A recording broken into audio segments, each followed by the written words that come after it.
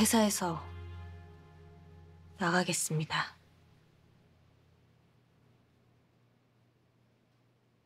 그럼 붙인 함자가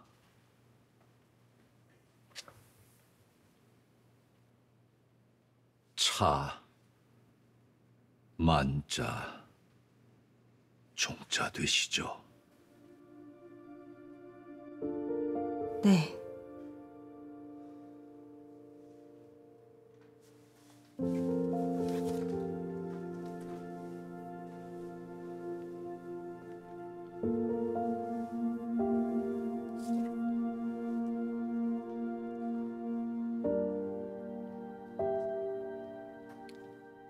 그동안 얼마나 힘들었어요.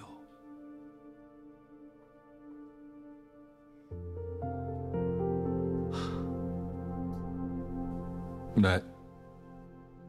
손 한번 잡아봐도 될까요?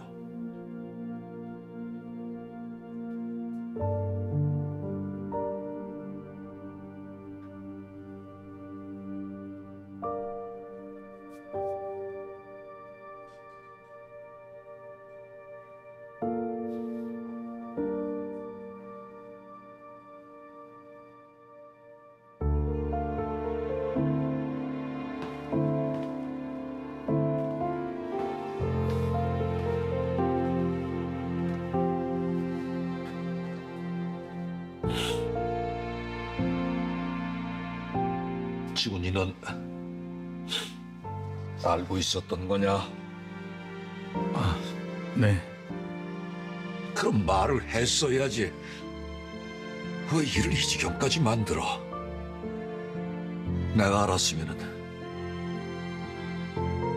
이렇게 함부로 대하지도 않았을 거고.